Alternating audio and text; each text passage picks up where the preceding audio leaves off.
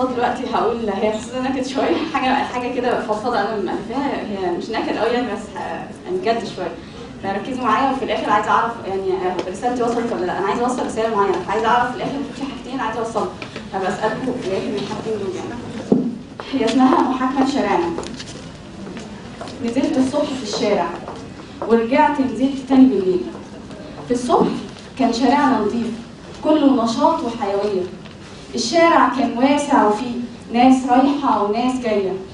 في الركن هناك هناك بعيد. كان في شحات بعربية. واقف يدور في السلات على حاجة فيها تكون مرمية أنا كنت حاسس بالندى وعلى الورود قطرات المية والانتعاش ملا عروقي وروحي طارت في المكان. الصبح ده أجمل هدية. بالليل بالليل الشارع اتغير. في كل مكان يمين وشمال. بكيت على شدة الإهمال. ده الشارع خلاص بينا. ومفيش مكان لخطاوينا. هي النظافة خسارة فينا؟ وقفت أصرخ في كل الناس. ورق أزايز وكمان أكياس مفيش دم ومفيش إحساس. حرام عليكم. كفاية خلاص. بصولي كأني بشتمهم. وكلامي كله عذبهم.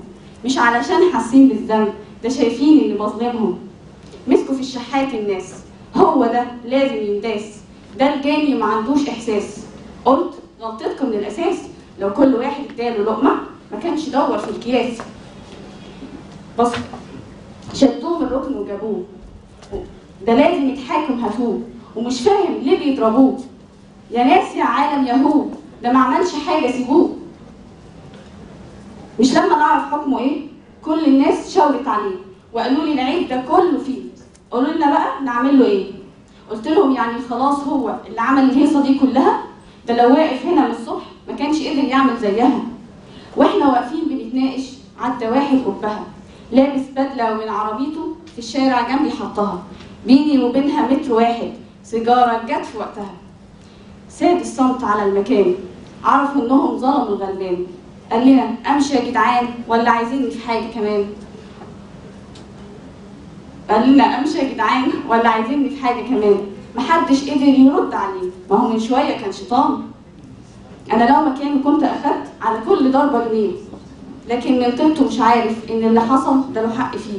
المسكين كان تايه مش عارف يعمل إيه. بس اللي خلاني أستغرب إنه لا بكى ولا اتألم ولا فتح بقه واتكلم. الظاهر إنه متعود ومتعلم ما يظهرش حزنه وأساه ولا جرحه اللي بينزف ومش عارف فين دواه ولا يغلطش ويقول آه. بعد لحظة سكون طويلة واحد منهم أخيرا نطق. أنا شاركت مرة بصراحة بس دي مرة مش هتفرق ومش بتأثر على السياحة. فمعلش هدي نفسك وعديها بسماحة. قعدت أضحك وبصيت له. طب أنت حاسس بالراحة؟ طب أنت حاسس بالراحة؟ انتهت المحاكمة باستئناف. دق قلبي وانتظرت وكل يوم عن اللي قبله مفيش أي اختلاف. خلاص.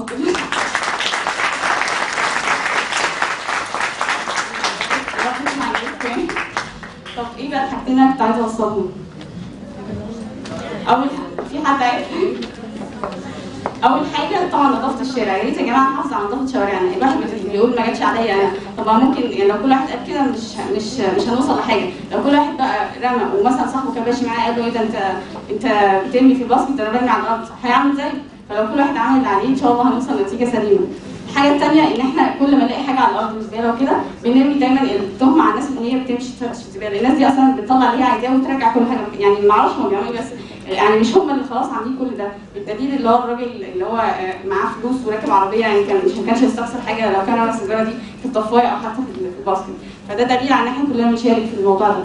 بس دول اللي عايزة أوصلهم الشارع وال- والناس بس شكرا.